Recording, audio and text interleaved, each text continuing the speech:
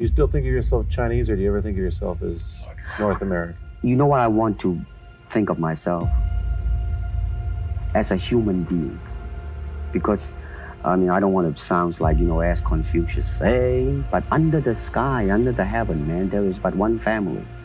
It just so happened, man, that people are different.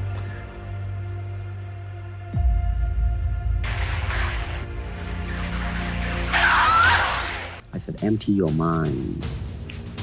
Be formless, shapeless, like water.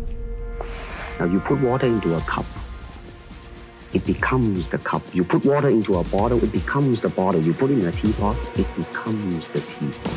Now water can flow or it can crash. Be water, my friend.